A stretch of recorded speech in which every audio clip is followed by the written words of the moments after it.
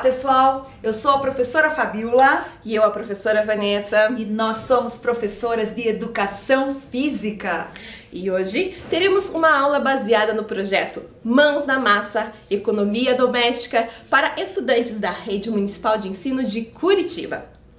Nesse projeto, você terá a oportunidade de colocar em prática alguns conhecimentos curriculares transformando-os de maneira criativa e sustentável em soluções para questões do dia a dia. Mas no projeto Mãos na Massa Economia Doméstica, não vamos movimentar apenas as mãos. Hoje vamos conversar sobre qualidade de vida, atividade física, alimentação saudável e saúde. E vamos movimentar o corpo inteiro. Em primeiro lugar, você irá registrar no seu caderno as informações que vão aparecer na sua tela. Aproveite para separar o material que você vai utilizar nessa aula.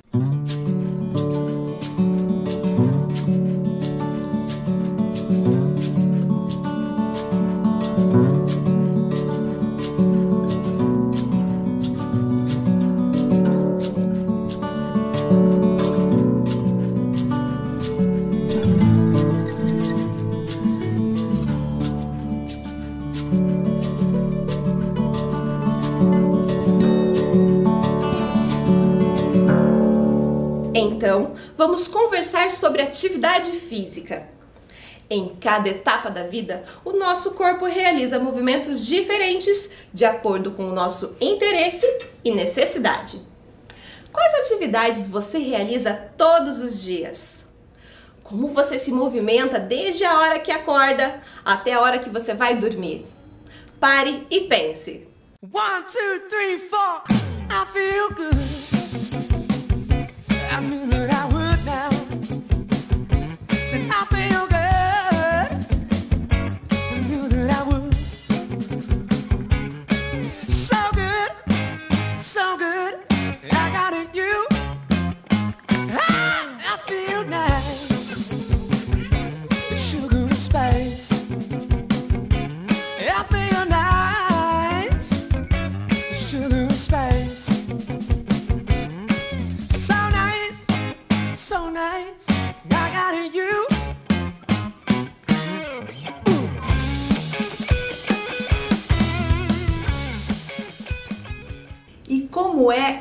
seu dia? Você realiza movimentos que exigem esforço físico?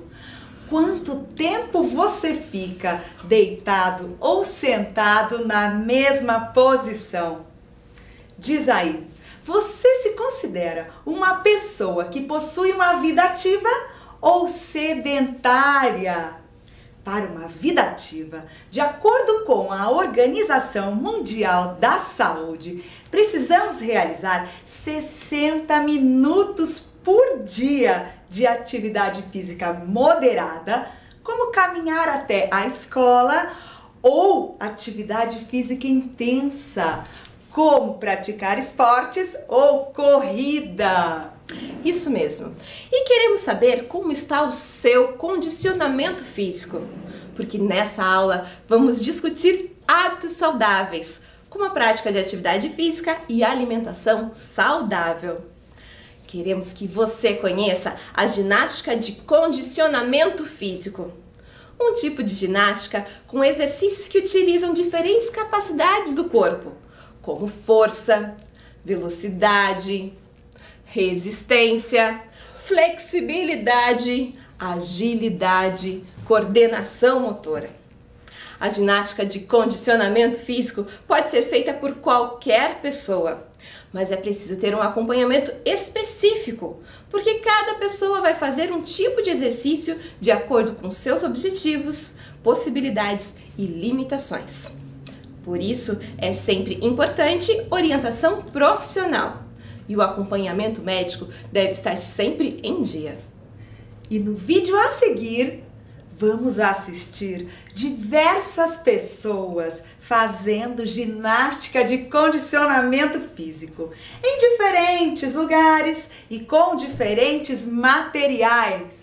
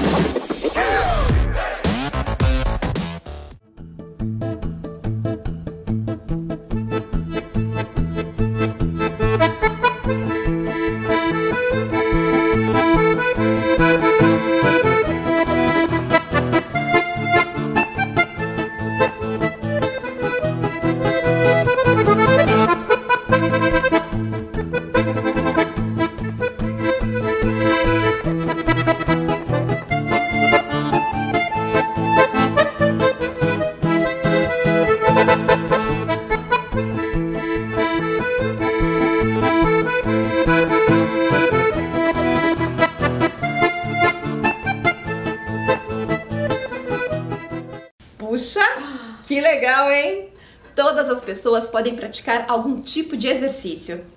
E você sabia que a partir das aulas de educação física podemos praticar exercícios e modificar hábitos? E todos podem participar, cada um do seu jeito.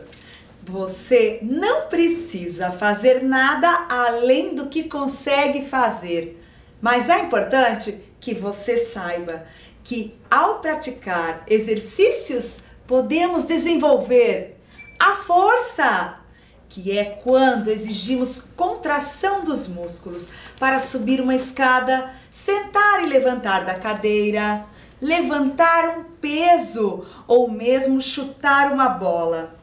A flexibilidade, que é quando exigimos amplitude das articulações do nosso corpo, ao vestir uma roupa, amarrar os sapatos ou fazer movimentos de luta. A agilidade, que é quando coordenamos os movimentos rapidamente, como quando desviamos de algum obstáculo inesperado ou quando fazemos uma corrida em zigue-zague durante um jogo. A resistência, que é quando mantemos um esforço físico por um longo período, como quando caminhamos ou fazemos uma corrida de longa distância.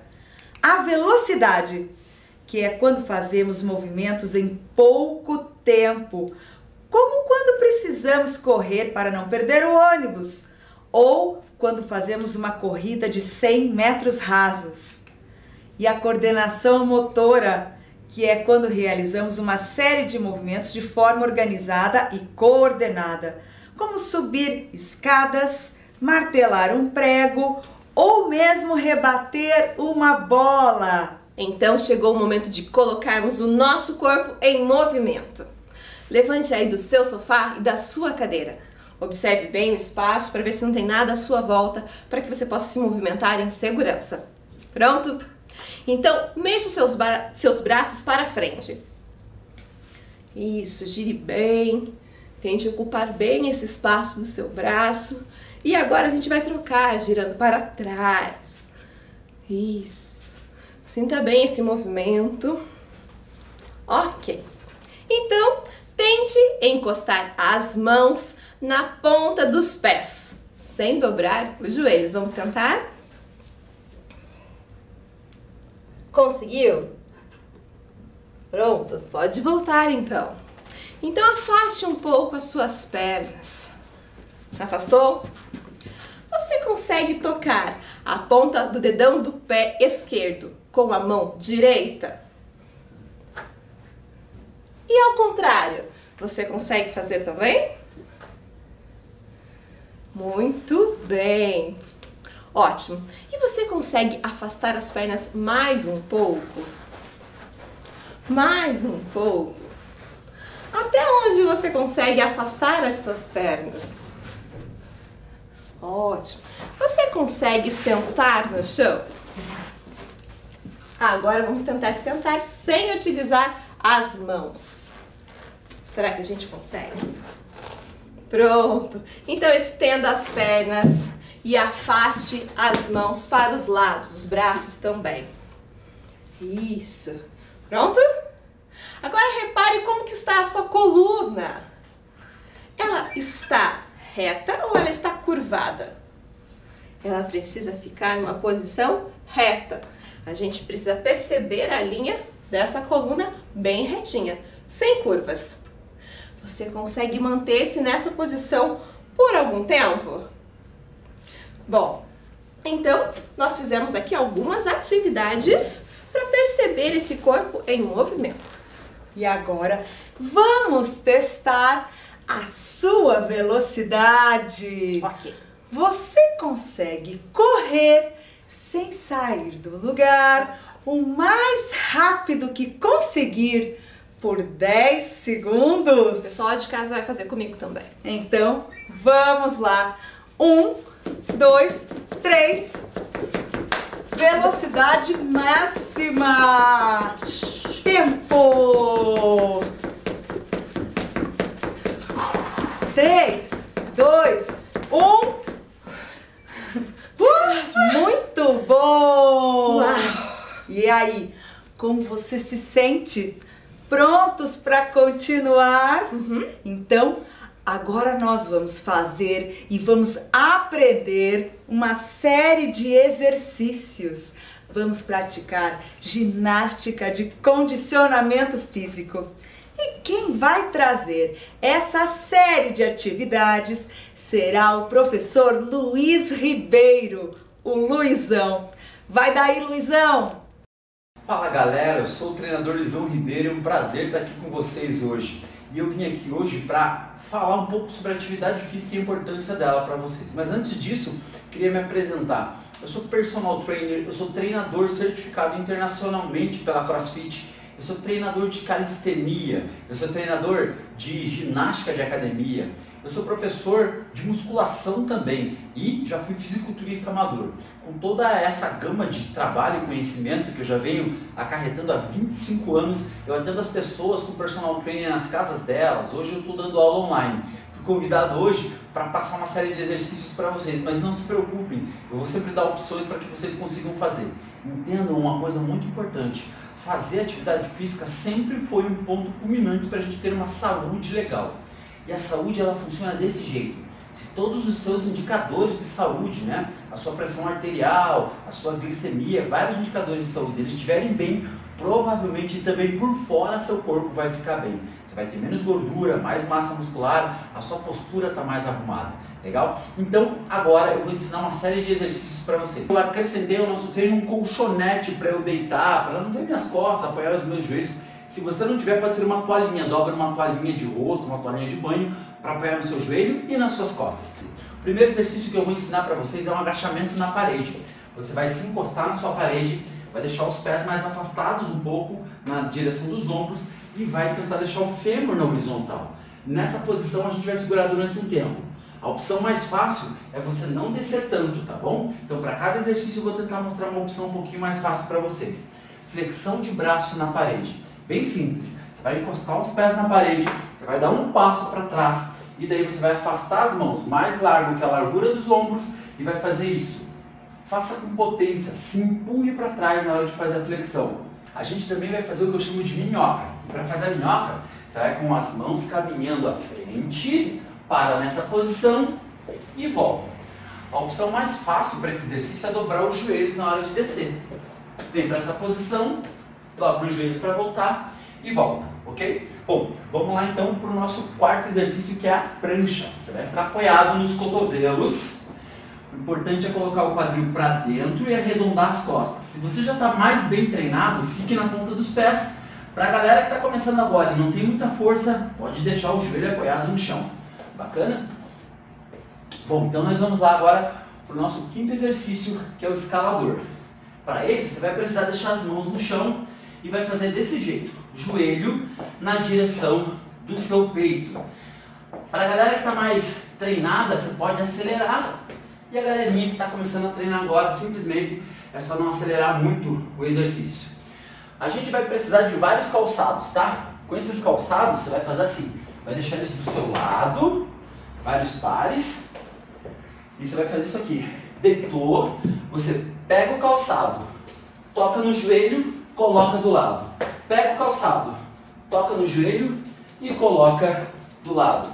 Esse é o nosso sexto exercício, tá bom? Com esses mesmos calçados, você vai fazer uma pilha de calçados, ok? E vai tentar saltar por cima dessa pilha de calçados. Bem simples. Erga os joelhos e faz. Saltou, troca o lado, saltou, troca o lado. Para ficar mais fácil, é só você diminuir a altura da pilha. Último exercício, o famoso burpee. É bem simples, galera. É só deitar o corpo inteiro no chão. Quando voltar, você dá um pulinho com os braços acima da cabeça. Se você não é tão bem treinado, que é uma opção mais simples, é só não deitar todo o corpo e fazer assim, ó. Vai, volta e dá um pulinho. E então é isso, galera. Espero que vocês tenham gostado dessa série de exercícios e que vocês não esqueçam, fazer atividade física ajuda a melhorar a sua saúde, melhorar o seu corpo e fortalecer a sua imunidade, que é uma coisa muito importante agora nessa pandemia, tá bom? Continue fazendo atividade física por você e pela sua família.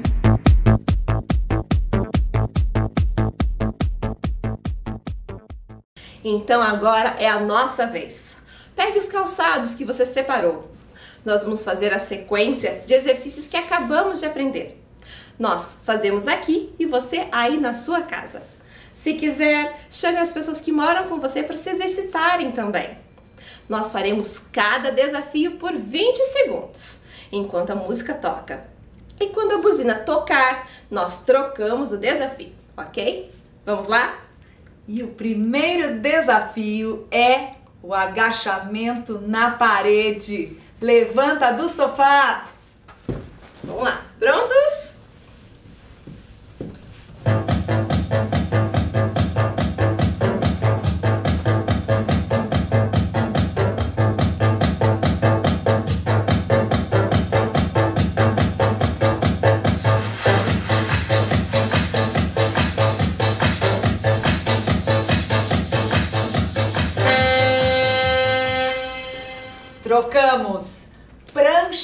Parede.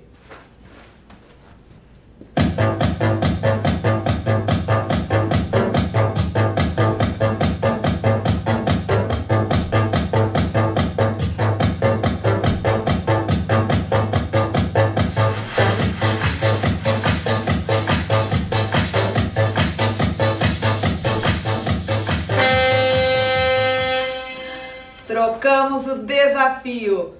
Minhoca! Hum, é mesmo.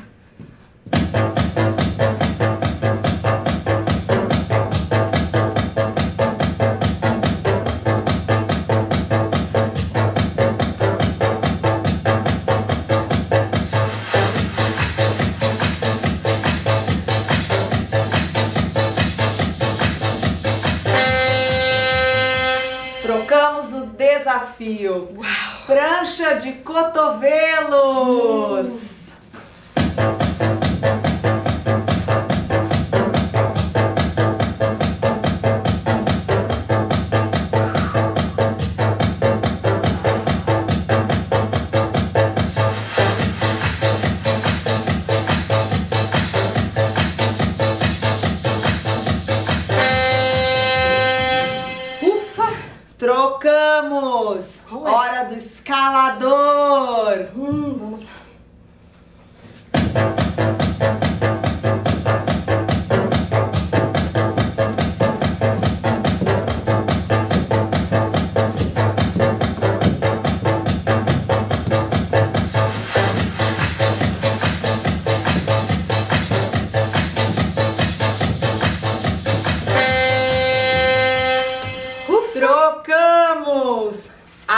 Abdominal com objetos. Pega lá seus objetos. Deixa do seu lado. Tudo pronto? Vamos lá. Passando os objetos para o outro lado.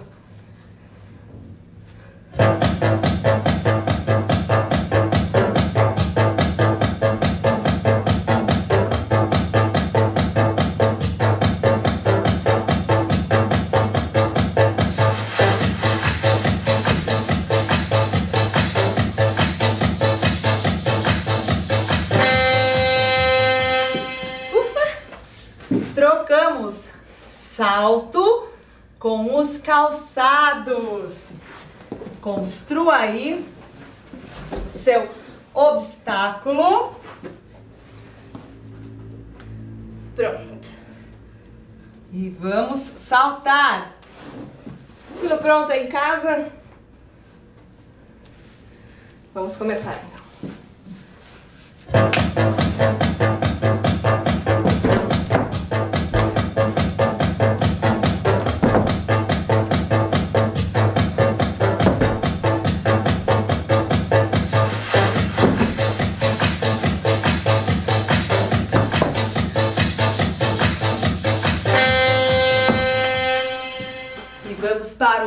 Último exercício da série.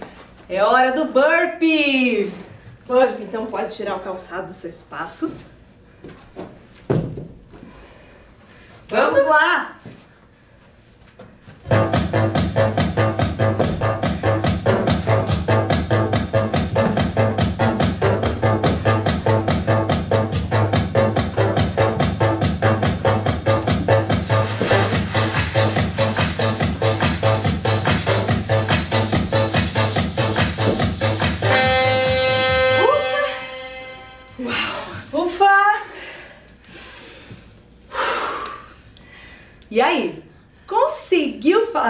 Os exercícios? Só acredito vendo. E quero que você mande um e-mail para nós com um vídeo seu fazendo essa série de exercícios. Anote o e-mail que vai aparecer aí na sua tela.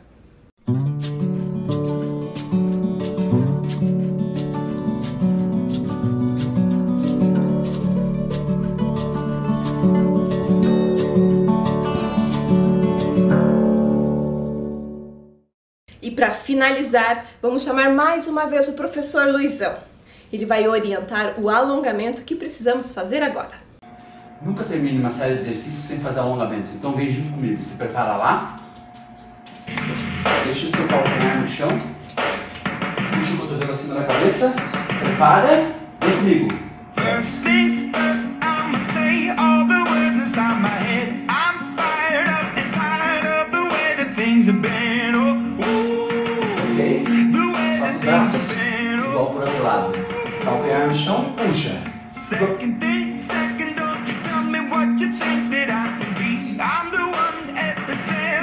Master of my sea. Oh, Boa. Ombros. Apoia numa parede se puder e segura.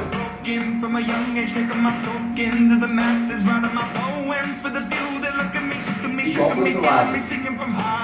From the pain, taking my message from the veins, speaking my lesson from the brain, seeing the beauty through the. pernas e faz assim, ó.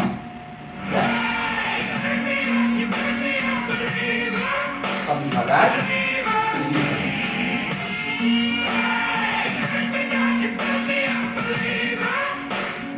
Mim.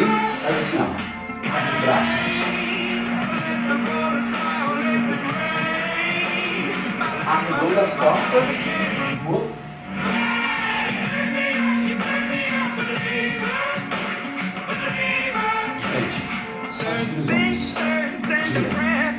Muito obrigado pela aula.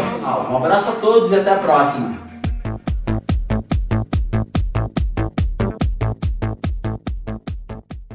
E sabe que não fomos os únicos a fazer essa sequência de exercícios. A Melissa e o Lucas também fizeram e já enviaram o vídeo. Vamos ver como foi?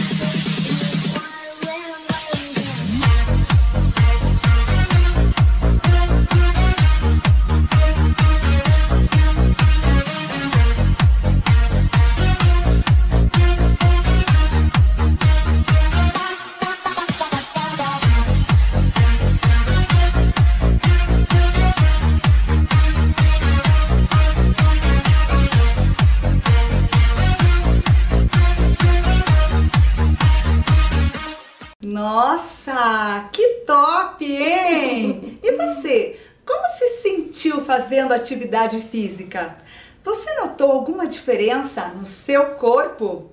Como está a sua respiração? Você está suando? Seu coração ficou acelerado? Você está se sentindo cansado?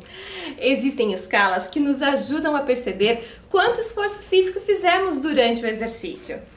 Essa é a escala de Borg. Ela traz a percepção subjetiva do esforço físico. Em qual nível de esforço você se encontra depois de realizar essa série de atividades que acabamos de fazer? Se você estiver no nível 1, quer dizer que você sentiu um esforço muito pequeno, quase nenhum. Se você estiver no nível 2, quer dizer que houve um esforço, mas você ainda é capaz de conversar e manter a atividade por muito tempo. Se você estiver no nível 3, quer dizer que você já respira com um pouco mais de dificuldade, mas ainda tem fôlego para manter uma conversa. Se você estiver no nível 4, deve ter percebido que começou a suar um pouco. A respiração fica mais ofegante, você sente um pouco mais de falta de ar, mas ainda consegue falar algumas frases. Se estiver no nível 5, quer dizer que foi difícil manter a intensidade da atividade. Mal dá para respirar ou falar qualquer coisa. E se você estiver no nível 6, você está no seu esforço máximo. Você sente que é quase impossível continuar. Você fica sem fôlego e não consegue mais falar.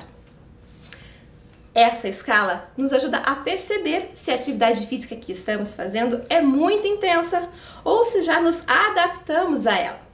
Com isso, conseguimos planejar uma série de exercícios de acordo com o nosso condicionamento e objetivo. Muito legal saber de tudo isso. Mas quando falamos sobre saúde, além de fazer atividade física, com frequência existem outros hábitos importantes, como beber de 6 a 8 copos de água por dia. Quantos copos de água você costuma tomar? Eu e a professora Vanessa fizemos um desafio. Tomamos oito copos de água. Vamos ver como foi?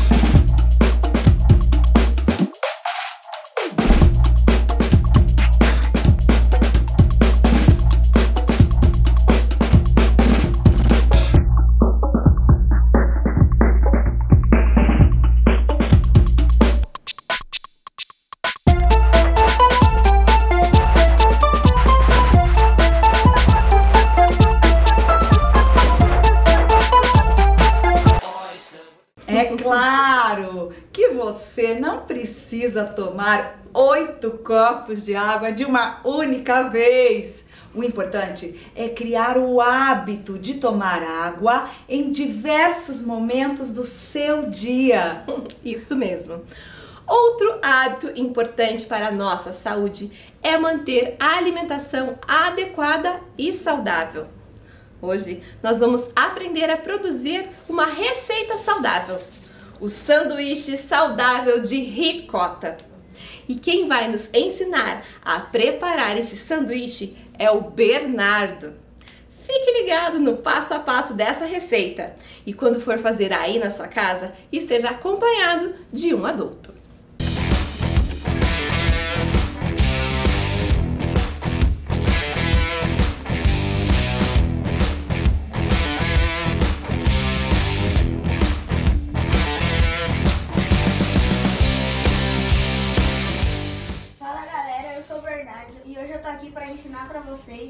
Receita de sanduíche de ricota saudável. E eu já tô aqui com os ingredientes.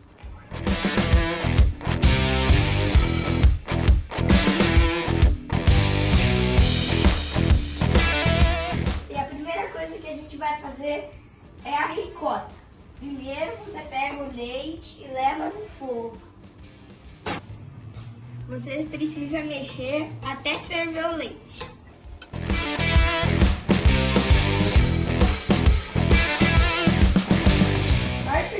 e esprema em um recipiente.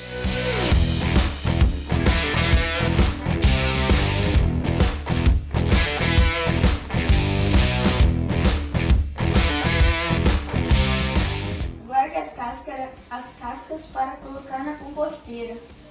Quando ferver, desligue. Pegue o suco do limão, coloque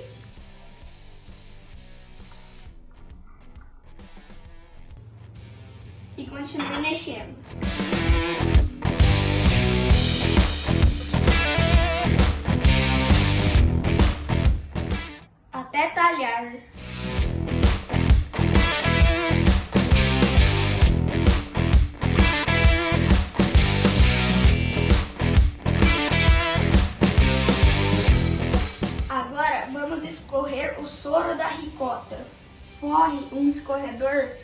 plano de prato limpo.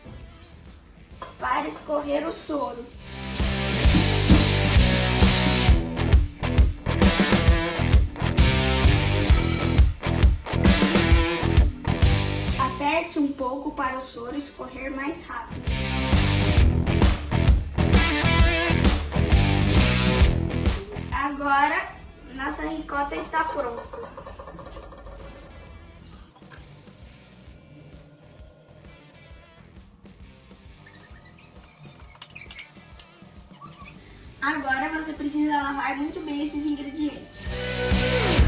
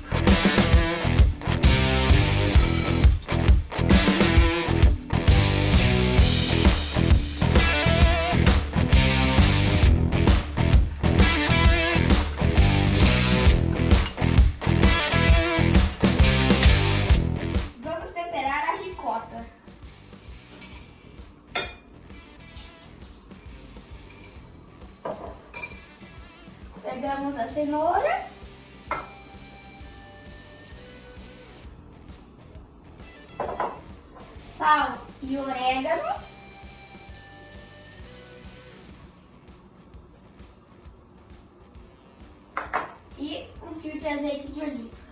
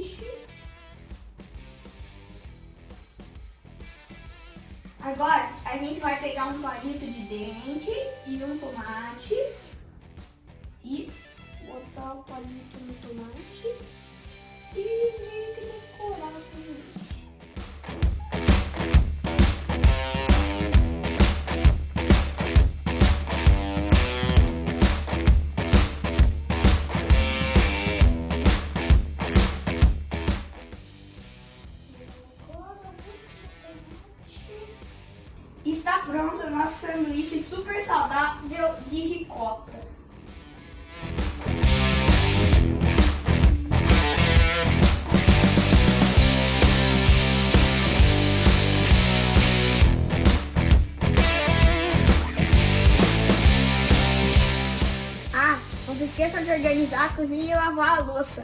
Falou! Puxa, que legal, hein? Adorei! Com essa receita, você pode preparar um lanche para as pessoas que moram com você, ou quem sabe até receber encomendas dos seus vizinhos. Bom, agora que você já viu como fazer o sanduíche, anote os ingredientes e o modo de preparo em seu caderno. Vamos deixar um tempo para você anotar essas informações.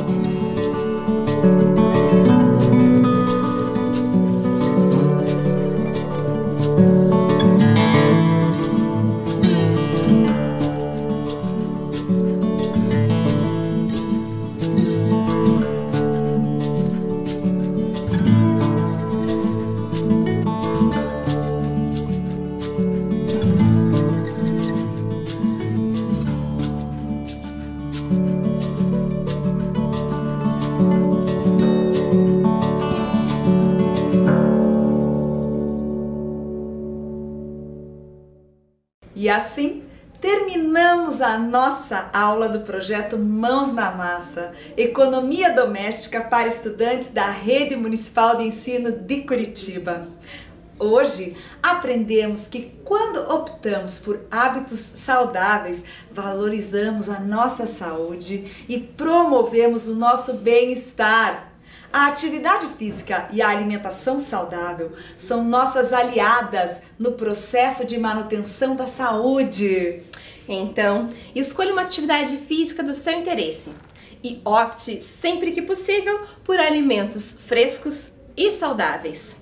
E quem sabe, desenvolvendo os seus dotes culinários, você possa fazer a sua vida e a vida das pessoas que estão ao seu redor mais saudável também. Ficamos por aqui, mas nos vemos na próxima aula.